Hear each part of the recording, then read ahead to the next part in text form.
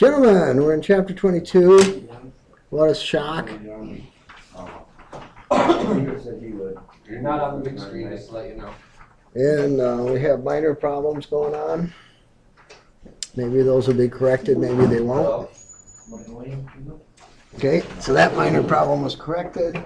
That minor, okay, now you can go to sleep, the lights are off. Can I get a copy of this file right here? Right now, immediately, No, don't. sitting in, while sitting in your chair. No. Yes, I'll I'll bring my thumb drive tomorrow. all right. Do you say so? Wow, look at that. That is so hosed.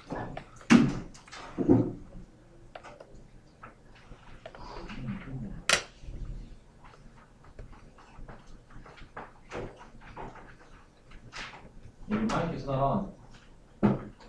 Yes, it is.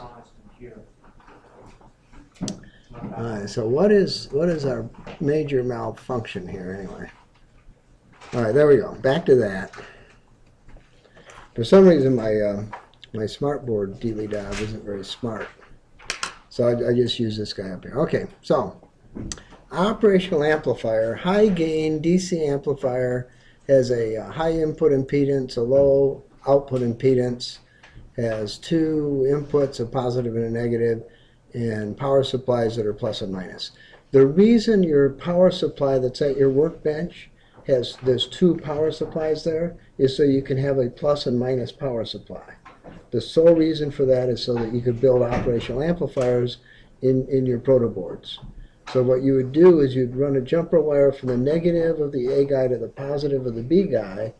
That that's now your neutral, and then your positive is positive and your negative is the negative on the other guy. And that's how you get a plus or minus power supply. What's inside that operational amplifier is interesting, but it's sitting on a chip, and there's nothing we can do about it.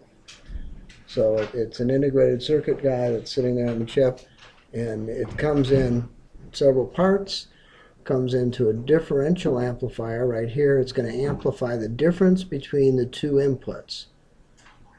And then it has a, a linear amplifier in the middle where it's going to take that difference and, and, and, make, and make it bigger. And then it's got a power amplifier at the end where it's going to add power to that signal so that if it's supposed to be 5 volts on the output, it's 5 volts on the output whether your, your load is a 1K load or a 10K load or a 100 ohm load. You're still going to get 5 volts no matter what the load is because I have a power amplifier sitting there on the output. And you can see the, that, um, what do we call that? A totem pole thing there sitting there. And you can see the differential guy sitting there. And you can see the power guy sitting there. Maybe you can. Okay, so um, I could ground the the minus five volt part of the operational amplifier. I could do that. Um, I don't want to, but I, I could. If I did, then I could never see a negative voltage on the output. The voltage can only be positive. I can't think of any good reasons for that to happen. Um, we have some prefix to identify them, some designer thing, 7, 741C. 741 is, the one we're going to be using in the lab all the time. I've got, got several hundred of them laying around. Um, they replace just about every every one that there is. Um, if I need to go faster or I need something different, then I can buy a more expensive one and put it in. But in general, I probably don't need to. Um, an N means isn't that nice. It's a, it's a packaging type. So sometimes it's in a can, sitting with, with pins coming out. Sometimes it's in a dual um, dual pin device thingy. Uh, ours are mostly in the dual pin device thingies, but I do have the older ones. Um, they're analog devices. They ha- come in three grades: commercial, industrial, and military. So basically, I, I build a hundred thousand of these guys. All hundred thousand are commercial. I send a technician down to separate out uh, some of the good ones. Those become the industrial ones. I set the technician down with a different set of standards and pick out of the 100,000, I pick out the 100 best ones. Those are now the military ones. So each of these guys have a, a specification of how far they can change on temperature, how far they can change on voltage, what they can do, but basically that's what I end up doing. Same thing with resistors. I make a million 1K resistors. I set a technician down to see which are plus or minus 1 and charge you more for it. They could be surface mounted, they could be a dual inline package, um, they could be a ceramic type guy, they could be plastic, they could be any number of different things. So my dual line guy, uh, I have pin 1 is going to be null, going to have plus or minus power supply at 4 and 7. I got some offset. Uh, doesn't matter where in my my input one and two, two and two and three input two and three. When I have it on a, a can, and this is going to be a, a piece of metal sitting up on on top of things. There's a tab showing me where eight pin eight is, and I'm going to go counterclockwise to find one, two, three, four, five, six, seven. Those one, two, three, four, five, six, seven are the same that are here. Why we put the diddy dip on one and we put it over here on eight, I don't know. You know, but we do. We haven't changed that ever. If it's surface mounted and I want to replace it, then I'm looking at ten thousand dollars worth of really cool stuff in order to get it off and get it on right, right? Um, if it's not surface mounted, then I can replace them. It shouldn't be a problem. I've replaced the can can ones by cutting the wires off of them and then mounting a chip holder on, on those wires. So I, I've done that before too when I needed to. All right, so we have a differential amplifier. It amplifies the difference between the input voltages. So if V1 is higher, I'd expect the output to be negative. If V2 is higher, I'd expect the output to be positive. But it's a differential amplifier. There is no current flowing through the operational amplifier from the, from the inputs. The impedance is extremely high on those inputs. I don't have current flowing that way.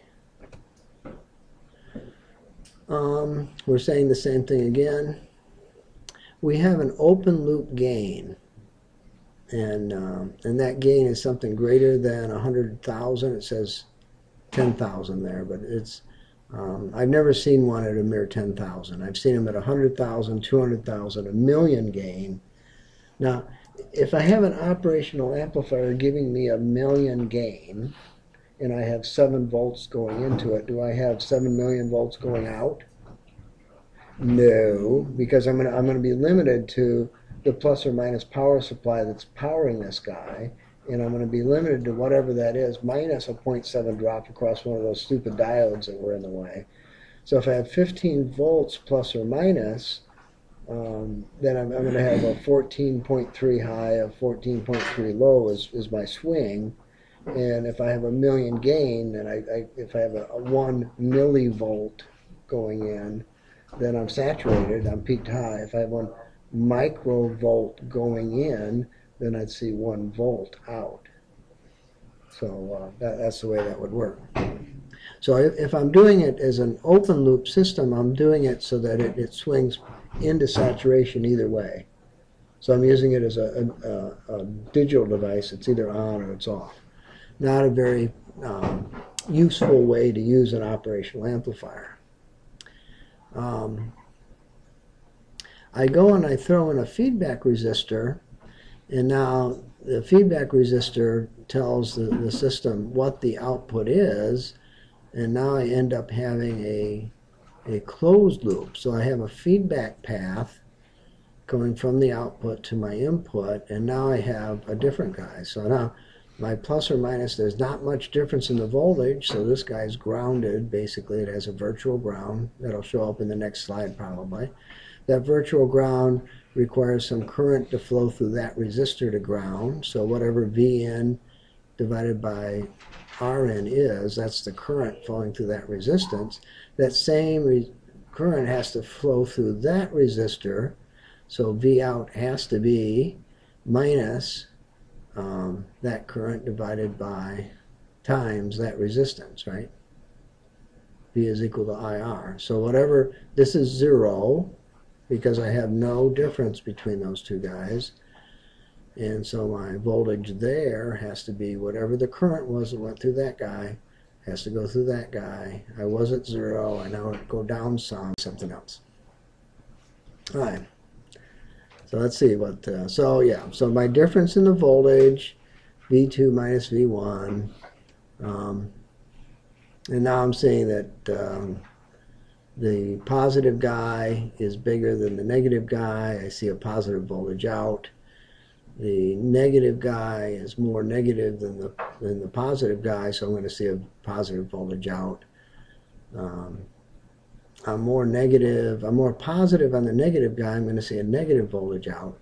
So basically, if I if, if whatever the voltage is in is, I'm going to be inverted on the out.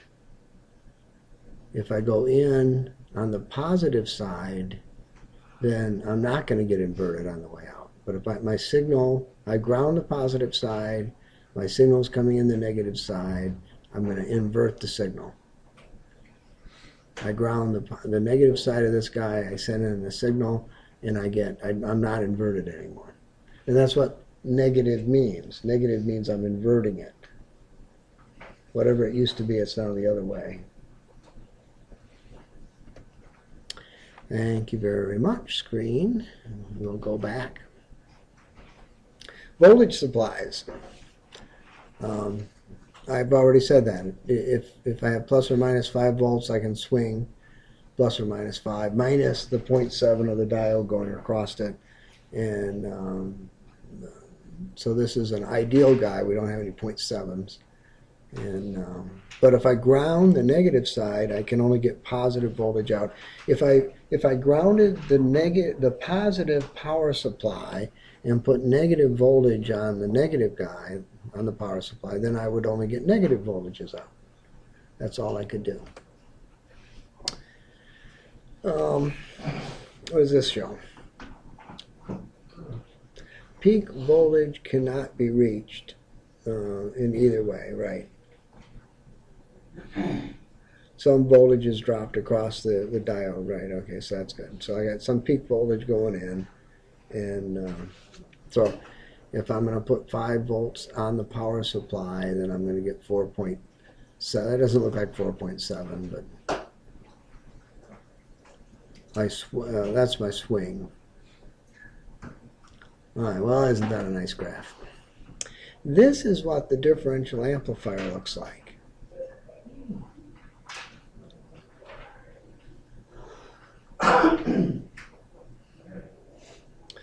So um, there was a time when I think I knew how that worked, but I'm not sure I know how that works anymore. That was when I was younger, like, you know, in my 50s.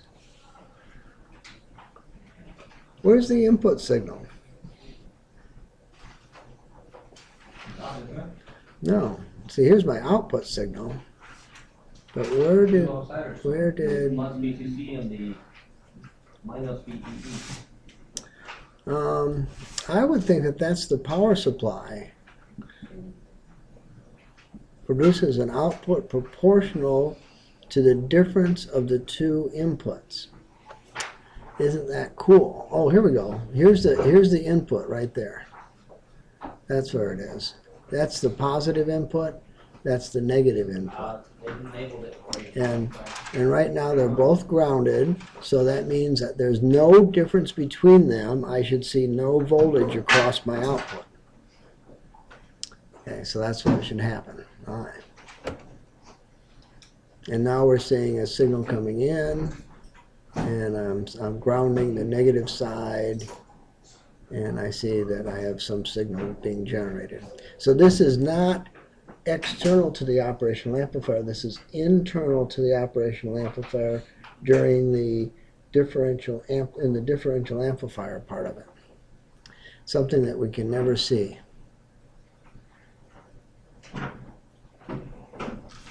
Um, modes of operation.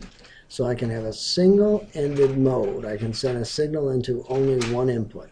I can have a double-ended mode. I can have signals going into both. Or I can have a common mode where identical signals are applied to both inputs. wait a minute, if I have identical signals to both inputs, I should get a zero voltage out, right? Right. Well, this is not an ideal world, so the thing is gonna give me something, and that something's gonna get amplified, and it's called noise, right? So we have a thing called um, common mode rejection ratio. And we want to be able to reject the common mode in our operational amplifier, the thing that's common to both. Okay, normally that's like a hundred thousand or one million rejection. So if I get one volt, eh, volt of common going in to both guys, then I reject it all the way down to a millivolt, microvolt, something really small. I want to reject it because I don't want it at all. I'd rather not have it at all, but um, output offset voltage. Okay, so um, there could be an imbalance in, inside the differential amplifier that'll have to be offset. So I, I set up my operational amplifier and I put my test stuff on it and I see that I'm supposed to, I want 5 volts and I'm seeing 4.3. So I have an external resistor that I'm going to tweak on to raise it to the 5 volts that I want. So I'm offsetting the DC output by throwing in a resistor and we'll see where that resistor goes. There we go. So I've got, it's a null adjust offset thing that's on my operational amplifier. Pins that I normally don't use unless I have to. But if I, if, so let's say that um, got an operational amplifier, is putting out 5 volts, everything's fine. And I decide, you know, I really don't like this 100 feet of wire run, I want it to go 1,000 feet. Um, probably not going to happen, right? So I set the null adjust to add another 5 volts, and now I got 10 volts. That might be enough to get all the way down there. And when it gets down at the other end, it's probably only going to be 5 volts anyway, and life will be wonderful input offset current. There's a slight difference between the two input currents that could cause a mismatch in uh, between the transistors. Uh, we're going to offset this with an, an, an, offset voltage. So I'm going to throw in a uh, resistor on the, on the, in this case I have an inverting operational amplifier. I'm going to throw in a resistor that's a compensating resistor so the C for RC is compensating, and it's going to be used to get rid of that mismatch of current that is that is internal to the operational amplifier that I can't do anything else with. And I might make this a variable guy so I can tweak on him to get him to where I really want him to be. Input bias current. The inputs on the operational amplifier, there's some amount of DC biasing going on um, and we might have to do something to uh, fix that as well. And what are we going to do? Okay, well, here we go. Common mode rejection ratio. Okay, the, the voltage gain of the differential amplifier divided by the voltage gain of the common mode. This needs to be a huge number. Um, we have identical signals being applied simultaneously to the two inputs. Those, that makes it a common mode signal.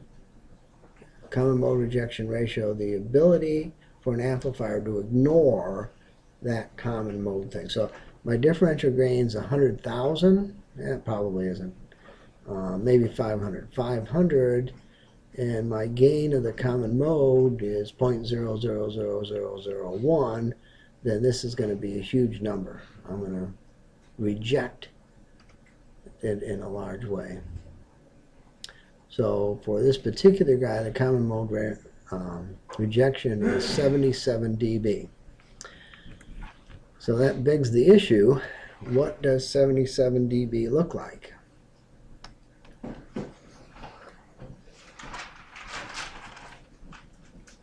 Well, we're not going to be able to use that today for whatever reason. Um, so I've got 77 dB. What does that mean? um, voltage gain is 10, 20, 20, 20 log. Why? 20 log. Why is this thing so slow? Wow. That's slow motion.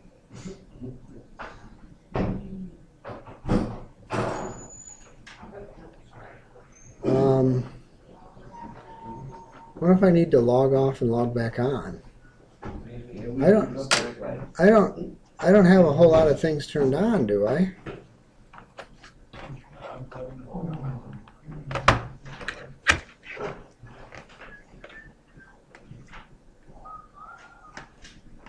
My toy's never done that before.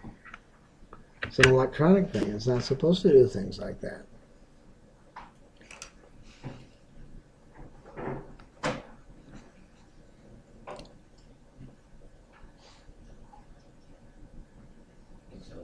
No, it's still doing the same thing. Um,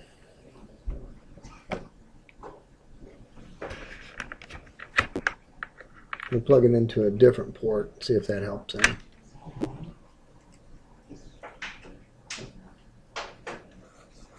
That doesn't help at all.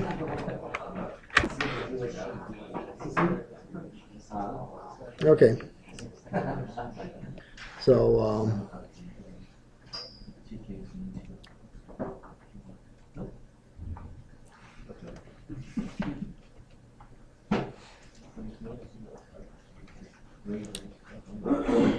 output short circuit. So if I if I short the output, I'm going to have to have some maximum current rating. Okay, I'm, I'm not going to be able to draw 5,000 amps and blow everything up, right? So uh, I have a maximum current rating.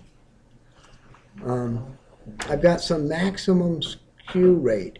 It's going to take time for the signal to make it through the operational amplifier. So if I if I increase the signal at too high of a frequency, it's not going to be to keep up. Okay, and that's going to be whatever that that rate is divided by 2 pi voltage, the peak voltage. And we measure this the slew rate in volts per microseconds. So I got a I got a a a 10 meg signal. Am I keeping up? Yeah, I got a 10 gig signal. Am I keeping up? No way. Operational amplifiers are not going to be any good at all in gigahertz. They're not going to be any good at all in 100 megahertz. Um, the top the top range of frequencies are going to be somewhere around 10 megahertz. So for it's an analog thing. So as, as we have the satellite communication stuff putting out things at really super high frequencies, we need different types of circuits to to receive and amplify them. So what happens if, if uh, my input waveform is looking like this, uh, my output could look like that. If my input is looking like this, my slew rate, I can't keep up. So I can't keep up, so I'm going to have a, I'm going to have rounded corners on my output waveform. So as my, my frequency gets higher and higher, I end up with a triangular wave coming out of that thing. So um, typical values, 2 meg input resistance, um, output resistance 75 ohms. Um, the the re output resistance is going to change based on the frequency. So at 100K at 75 ohms at 1 meg, it's going to be 200 to 3,300 ohms. Um, that's because of the circuitry inside the operational amplifier. As I change my frequency, my characteristics of my output impedance is going to change on me. Other characteristics, input voltage range, uh, maximum differential, uh, let's say large signal gain, um, I have an open loop, um, whatever it is, supply current rating, power consumption. These guys are gonna are gonna soak up power, operating or not. Um, they're probably gonna need a heat sink if you have something with lots of power going through. them. All right, now we have an inverting amplifier. And what is the voltage out? The voltage out is going to be um, the difference of voltage times whatever the gain is, the open loop gain is. Well, if the open loop gain is a million, then the chances are this is just going to go uh, plus or minus into saturation, plus and minus side, as as my as my signal happens. I have a virtual ground on an inverting amplifier because I, my plus and minus things are grounded. That means that the plus and minus guy can't be very far from each other. If I'm ground on the plus guy, I have to be grounded on the on the negative guy. But a virtual ground does not allow current to flow through it. So whatever current is coming from my voltage in, I have that same current flowing through my feedback resistor. That's what it looks like is happening. What's actually happening is something else. We don't really care what that something else is because we want to know what it looks like. We call the operational amplifier an active device. It's actively participating in the circuit. So if I have a circuit that just induct uh, resistors, inductors, capacitors, those things are all passive. I go and I put a signal on it, it's going to act in a passive way. Um, if I take an operational amp- amplifier, it's an active device. It's going to add power. It's going to change the voltage. It's going to do all kinds of cool stuff. Closed loop gain. Okay, so I've got a I've got a, um, a virtual ground sitting at the negative person. So my voltage in has to be um, whatever the current is times the uh, resistance in. That has to be the voltage. Um, the voltage out, that same guy has to come this way. That same current that flew through, went through that resistor has to flow through this resistor. That's my voltage out. The definition of voltage gain is voltage out divided by voltage in. The two currents have to be the same. Therefore, my uh, closed loop gain, the feedback resistor divided by the input resistor. Neg normally, we put a negative sign in front of that saying that the signal was inverted. Why we ha don't have that here, I don't know. The um, the impedance in to an operational amplifier is approximately the resistance in to the operational amplifiers. So um, the operational amplifier has an infinite impedance, but the resistance in to the circuitry is just that R in that's sitting in front of it. So this R in, we call that the impedance in. All right, when we calculate the impedance out, um, we look at the output impedance of the operational amplifier, usually less than 100.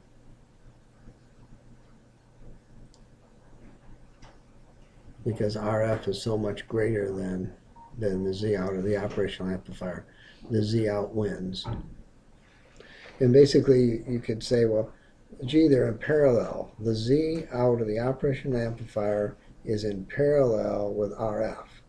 Okay, so if RF is 1 meg ohm and Z out is 100 ohm on the amplifier, then Z out of the, of the amplifier itself would still be 100 ohm. So that's what we normally say.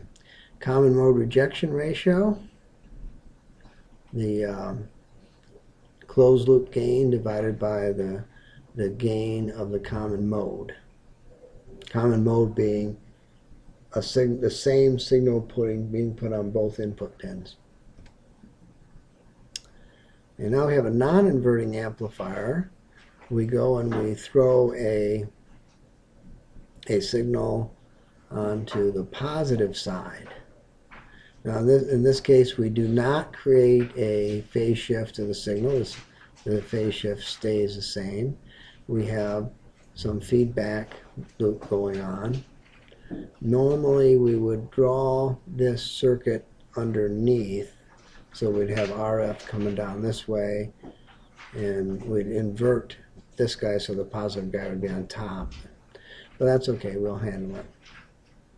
Um, when I get done with the math involved, I end up with the, ga- the closed loop gain for a non-inverting amplifier, RF divided by Rn plus 1.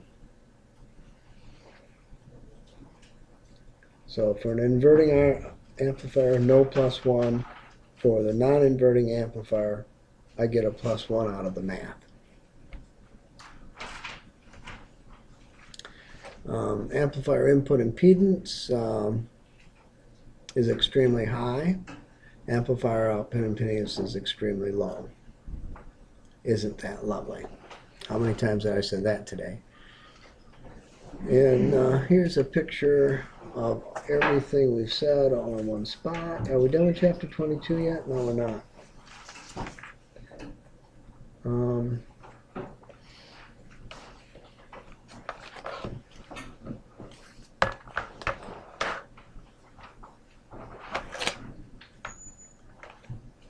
play with my toy some.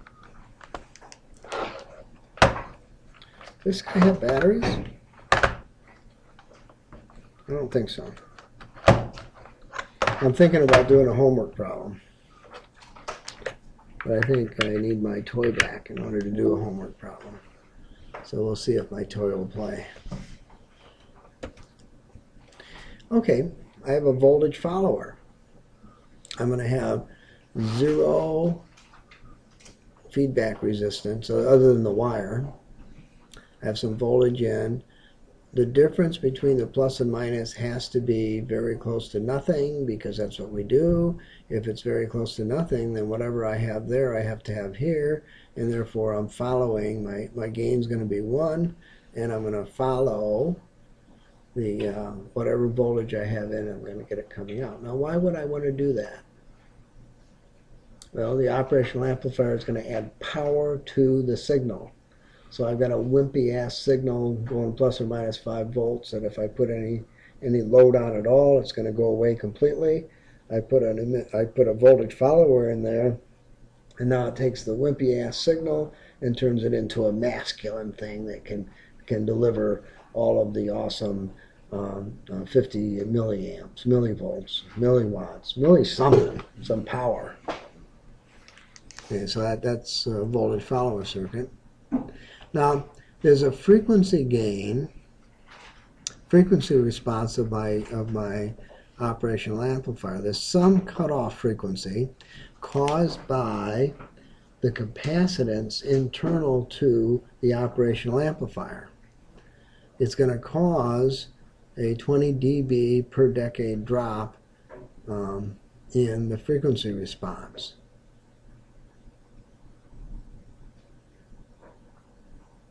Yeah, 20 dB per decade. So I, I, go from some critical frequency times 10, some critical frequency times 100. That's one decade, one order of magnitude faster, and then I, I have some some uh, frequency drop. So above that frequency is less than that, I, I get all the gain that I want. As my frequency increases, I start getting hosed until I get down to a unity frequency where the frequency is such that whatever the signal goes in, I get it back out. Okay, so here's my frequency response.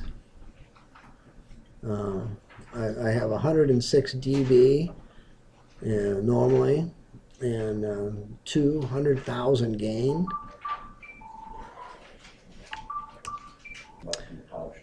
All right, so when I when I get up to one megahertz, I'm at unity gain.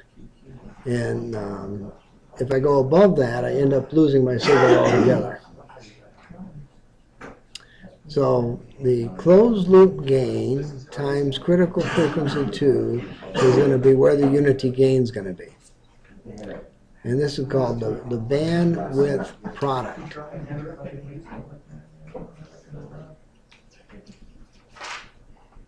So the bandwidth product is where the unity, the frequency of the unity gain is.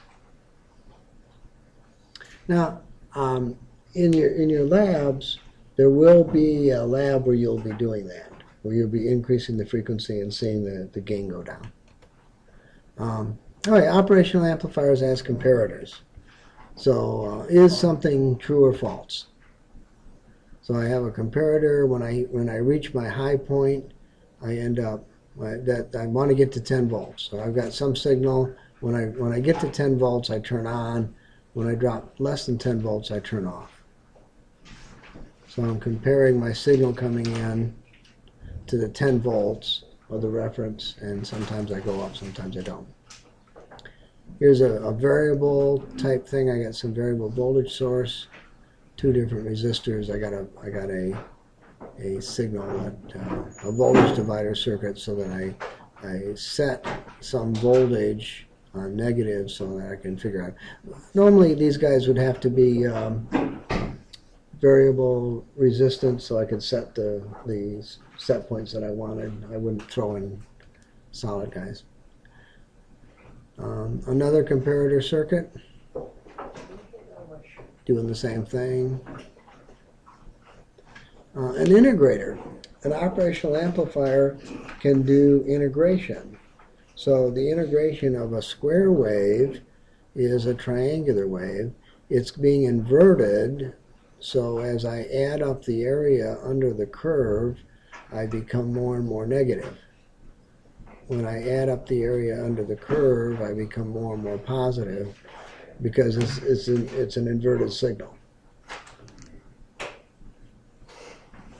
So the integrator will convert my square wave into a triangular wave. Um, the area under the waveform is going to be whatever the peak value of the waveform is times the pulse width. So there's my area, and uh, as time goes on, I get more and more and more and more, and I build. So now I got, this is a, another integrating circuit a capacitor compared to a capacitor discharging. So this is my capacitor discharging, my capacitor charging as my as my input voltage changes.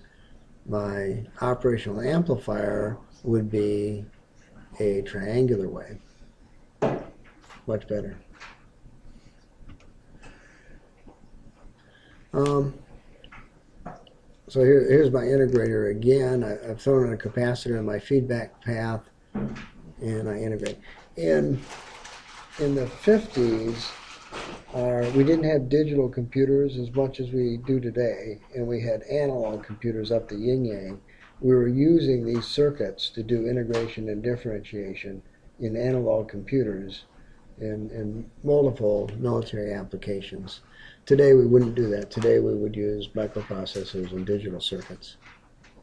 We can have a, a, differentiator which measures the slope of the curve. So that slope of that curve right there is some negative number. It's being inverted and I'm giving me a positive number out. Um, so the slope of the curve is positive. It's going to give me a negative number out. Slope of the curve is negative. It's going to give me a positive number out. So I can I'm um, differentiating the circuit, the signal coming in. I'm finding the slope of the signal coming in. So if I have a sine wave going in, what do I have going out? Well, the derivative of the sine wave is cosine, so I'd have a cosine wave coming out. It would look sort of like I had a wave 90 degrees out of phase, okay? But really what I have is a cosine wave summing amplifier. I look at this amplifier and I have a virtual ground sitting at the negative input. I have current flowing through all three resistors. All three of those currents have to be added together. They all have to go through the feedback resistor. My output is going to be the addition of those three currents. And depending on what I have, R1, R2, R3, and RF2, uh, it would sum those values. But it could, because it could have amplification going on, it could sum it at a times two value or a times four value. So I could I could have this guy be uh, 10k, that guy be 10k, 20k, 30k. uh, 10K, uh, 10K, 20K, 40K, and now I'm going to do a digital signal to an analog signal conversion based on, on how I'm multiplying my signals together. And here we do. Here we have an analog, a digital to analog converter. So I've got the most significant bit, and I have the least significant bit, and they are a power of two apart. And I have an output that's now going to give me an output that's an analog output for the digital input. Now it's going to be a stepped analog output, right? But it's still going to be analog. And um, now I'm, I'm doing a summing amplifier where uh, I'm summing all three together. And I'm going to find the average. Okay, so I'm going to find the average of the three signals.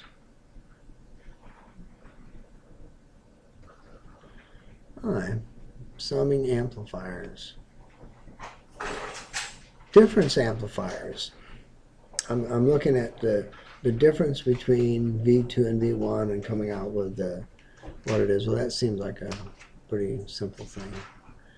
Uh, my, this is an instrumentation amplifier. So I've got a hospital setting where they have buco much money and I'm doing instruments for them. What I'm going to do is I'm not going to use a regular amplifier to take care of your IV.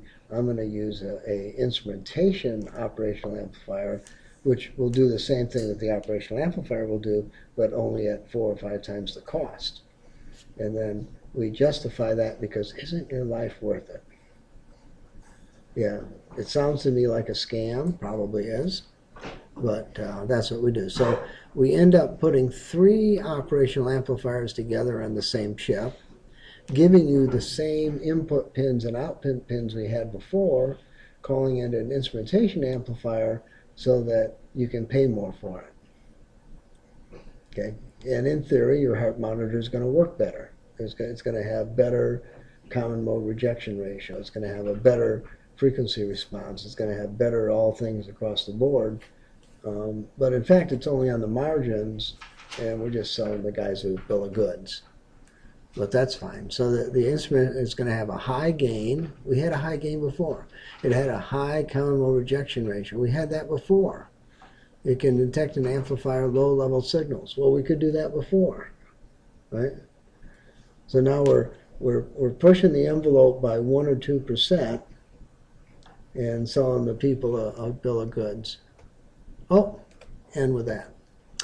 Well, I think that we should do um, the homework for chapter 22, and because my toy is still not working, we will do it on the board. What do you think? Oh, that'd be a bummer, wouldn't it? Oh, I, I don't believe I said that. I'm going to do it on the board. Um, is my is my video capture thing on now? I never turned it back on, did I? Nope. Shit. That's funny too. All right. All right. Yeah. Come on, Steve. So, What? Supposed to tell. yeah, front row's supposed to tell me these things. All right. Oh, so we get rid of this garbage, also known as garbage. Yeah, I'm gonna look at garbage over here.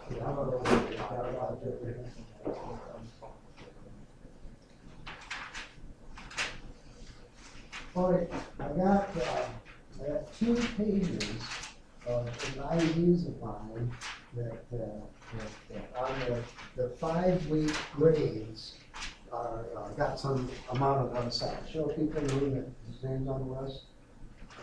One? Connor, two.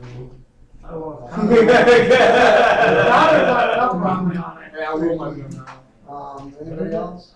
What's the form? Uh, uh, people that got, um, uh, unsigned, in any course. Oh, two hands. Uh, two- uh, Two hands. Unsatisfactory. Anyway, so it's, it's, it's two pages long, the first guy on the list, I'm, I'm looking at his name, I can't even pronounce it, I don't know who he is. He's in business math and, and the elements of writing, you know. And then two of them are, uh, are Seth and, uh, and Eric, both of which got dumped off the, the, uh, thing due to lack of payment. And so, uh, Seth Peters, not Peter Seth. And so if both of those guys were removed from my two pages, because if every single class was on at once, then I'd only have one page. And so it just went on and on. I couldn't believe it. Yeah, yeah, you're only on there twice. Yeah, that's right. Yeah. Something's wrong. You're only on there twice, you should demand better. But that's okay. Mo- most of you will be on there this time because you didn't bother to turn in your lab book. Am I on one of those lists, Doug? Oh, I hope so. How could you do this? finally on the list, you know, I thought that in the list. The amplifier problem three. As a voltage gain of 120, determine the maximum peak input voltage for the circuit. It's a good number five. Problem three, determine the maximum input in figure 2250. So there's twenty right? So I got, I got something that looks like this.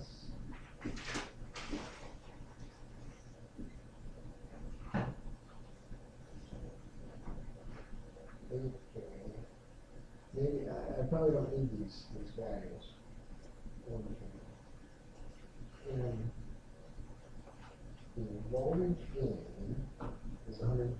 that maximum allowable peak-to-peak -peak voltage for the system. Okay, so the output, output, because I'm at plus and minus 10, so at plus or minus 10, so that means I could have 10 divided by 120, then divided by 120, and the minus side. Um, anybody got a calculator?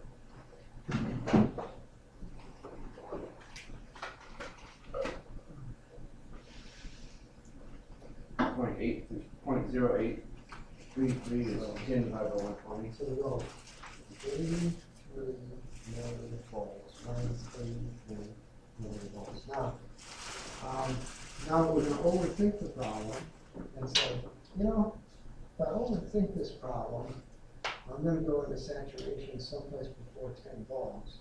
I'm gonna go at nine point three because I have a plus or minus, um, 0.7 drop across one of the diodes inside there. So I'm gonna go with nine point three divided by hundred and twenty. And now I'm gonna get, um, I'm gonna get, uh, seventy-seven and a half million volts minus seventy-seven and a half million. So there's nothing wrong with that answer. There's nothing wrong with overthinking the problem and getting that answer.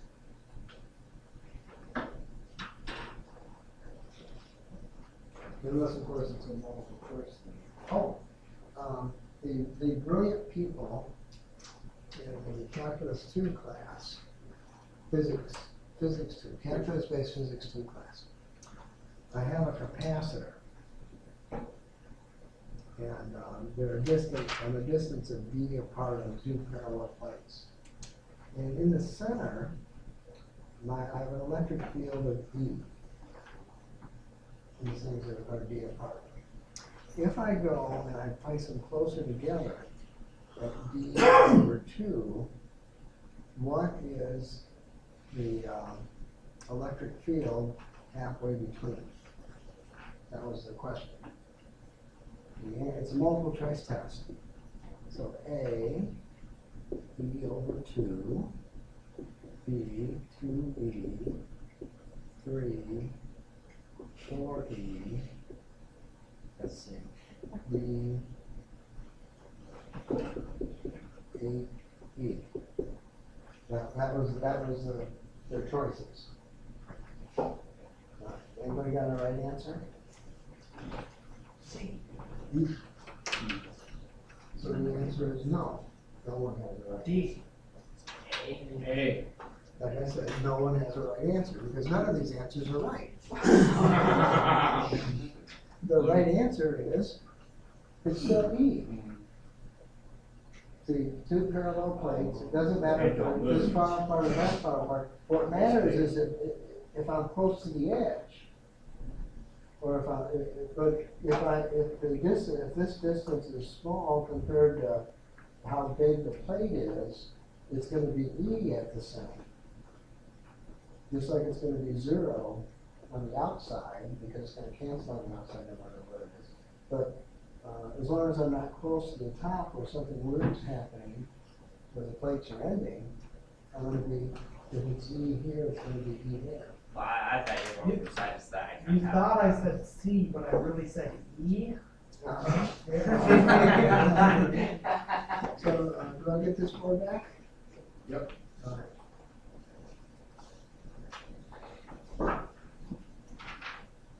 And it looks like we're gonna do eleven next. Now, these are, these are all supposed to be really simple. To you. Well, that first one was pretty simple. First one pretty simple. Alright, and really, Yeah, I didn't Not for me. Pardon me. determine the maximum operating frequency. So I've got, uh, here, a slew rate. A slew rate of, um, point eight volts. Eight volts per microsecond. And I have a gain and and gain of three hundred.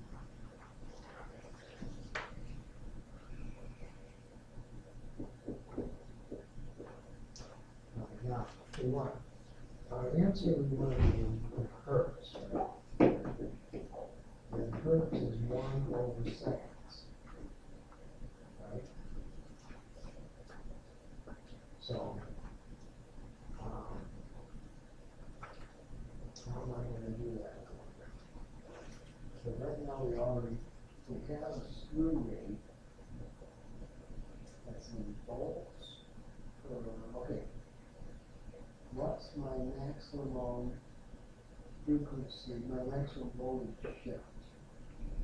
Thirty volts, right? So if I go and take one eight volts divided by per millisecond, per microsecond, and divide it by three hundred volts. Then the volts go away, we have one only seconds, which is hertz for our answer. This is called dimensional analysis. We don't have to know shit. All we have to do is take the dimensions and make them be right. Okay, so I'm gonna go point eight divided by point zero, so i'll turn it on first. Point eight divided by point zero zero zero zero zero one.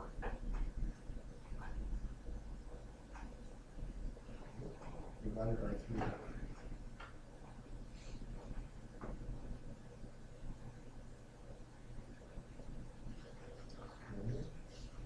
hundred. I don't like. But it says, uh, two, six, six, six years. I'm not sure that I like that. Point eight divided by point zero zero zero zero zero one. Divided by. Yep, that's what. That's our max, if you go higher than that frequency, then we wouldn't get to keep up with the voltage change coming in. So that'd be our maximum frequency. Alright, don't be looking in the back of the book. Which one is the next? Fifteen? Perform a complete analysis. What does that mean? Uh, Anybody know? um, a lot of work. Conform- Well, conform- it means that we didn't perform an analysis. No, we. Oh, now. Yeah. The analysis, the, um, there we go, page seven, seven, zero. So, for a analysis, we need to know the closed loop gain. Oh. We need to know the common mode rejection ratio. Common mode rejection ratio. And we need to know the frequency max. Oh, we got the frequency max wrong, the other problem. Uh, Frequency max.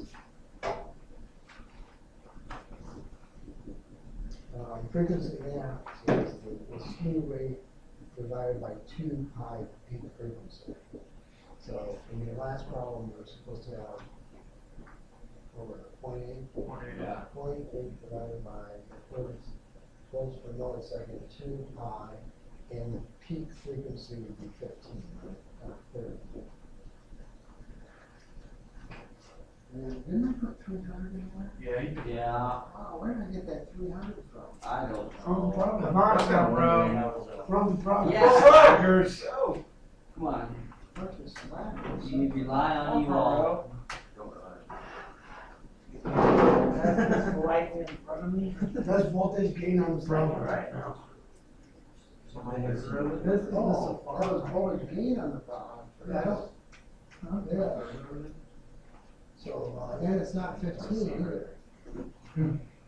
So back to number eleven. Um, that's putting, nobody's working. 20 millivolts.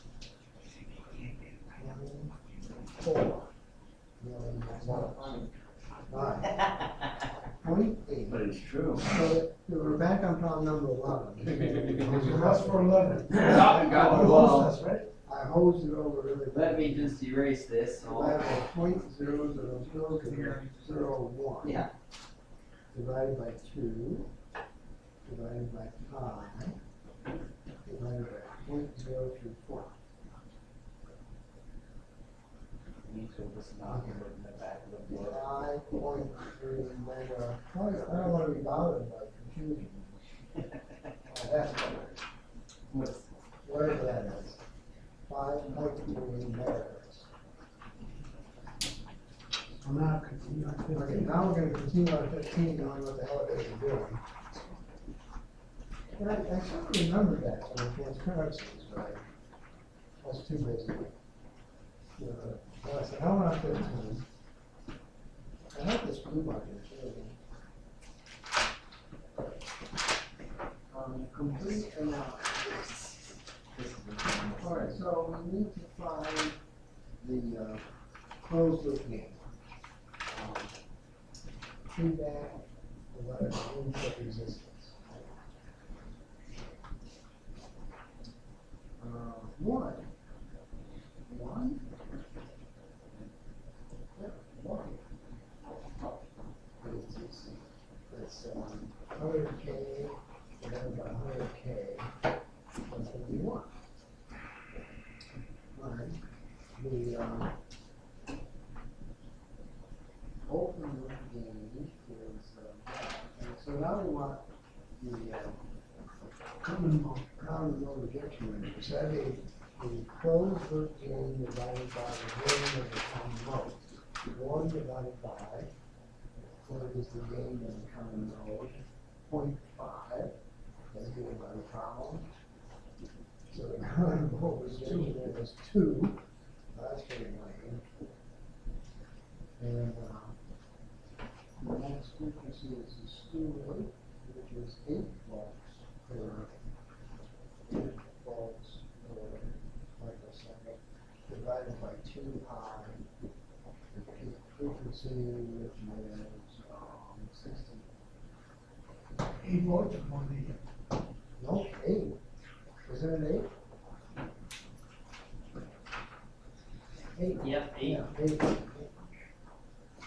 Well, well, gee, you know, eight goes into there twice, so, um, it looks like I got, um, One one divided by four pi times ten to the minus 6. Right. Now that would be easy enough to bring in calculator. 1 divided by 4 divided minus 6 times pi 4 Um, so you call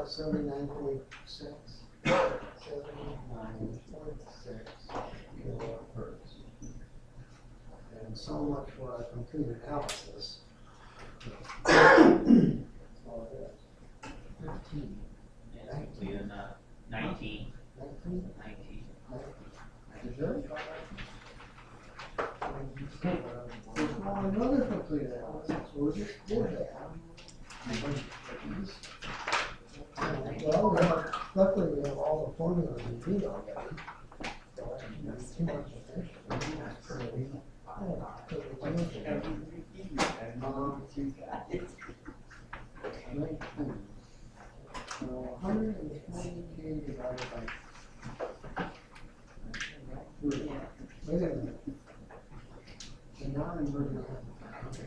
Hundred and twenty K divided by three K plus one. What goes into there, forty, forty-one times. Common mode rejection ratio, forty-one divided by. Some number, point three three. Point three three. Um, hundred and twenty-three. Um, slew rate. Fifteen volts. Fifteen volts per microcycle divided by two pi. And the peak frequency is two. Now, yes. I'm gonna take out the calculator.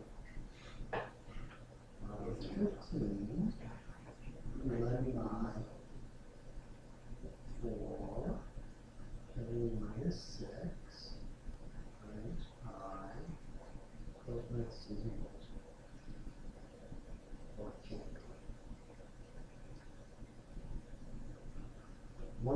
One point two meg. One point, how come this is one point two meg and the other guy came out so small? Because these are, uh, different problems. Yeah, but the, the number, I mean, it, it was an eight volts divided by almost the same thing. Well, maybe it wasn't, yeah. So it's, yeah. Wait, it's got a sixteen here, and an eight, well, maybe that was right. Huh, I think it's good. Twenty-seven.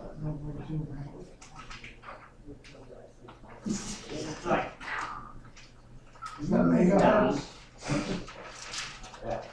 We need construct a amplifier with values that can do that, and the gain can do that. We need to construct an amplifier with values of that. And critical frequency like this. Can we use an amplifier with a unity gain of that? Okay. So this is just a yes or no. You know, we got half of it right already, right? Um, yeah, so, Twenty-seven, we need a formula, do you remember the formula? It's on seven seventy-five. One seven seven five. Good job, second row. Yeah. We're doing your job. No, no, we. Yeah, yeah. Yeah, it's, it's all, Critical we frequency, just did great. Terrible people. critical frequency is equal to the unity frequency divided by the, what is it? The issue is, if I have two hundred is, yes. No eight megahertz. One eight megahertz. Meanwhile,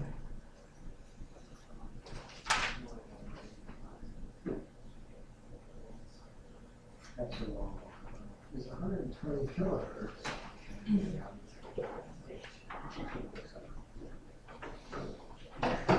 Equals twenty-seven megahertz divided by two hundred. That's it.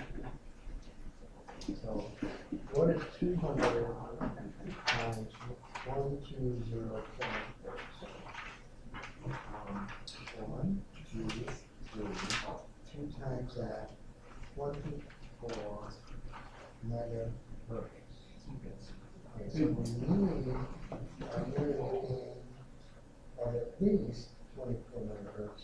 We have a radiated gain of twenty-seven megahertz, so the answer is yes. It could be Yes, that's the answer. worse. Yes, is, what, is that supposed to say yes? Yes. It does? Yes, it does. It can't, because I told you not to look. Forty-one. This is a no. Short stack, changing. That's okay, I do turtle by John Deacon, so. Well, You're not trying hard enough. Well, look who, look who you're sitting by. No. She don't think A five in some amplitude has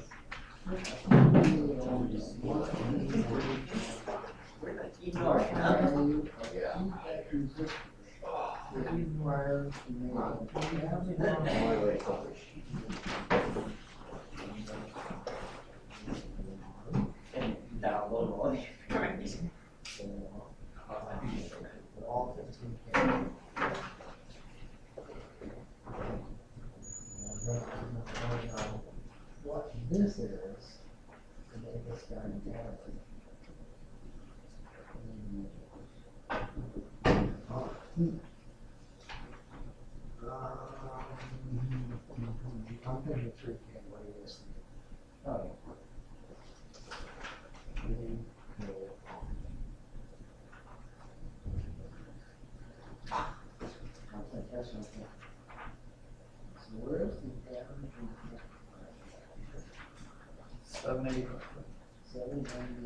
785.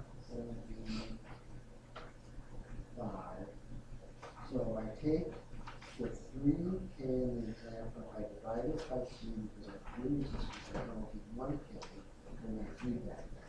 I got 5 of these guys, I about 5 into 15, and then I get 3 k, and I come out in right. What, what did I really do? I really to build it has to tweak this guy in until I got it right. Fifty-three.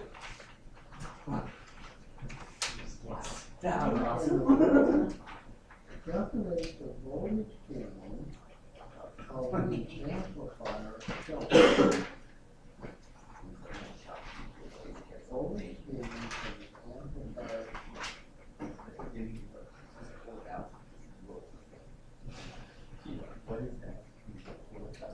so I'm grounding the negative terminal at fifteen volts from the middle.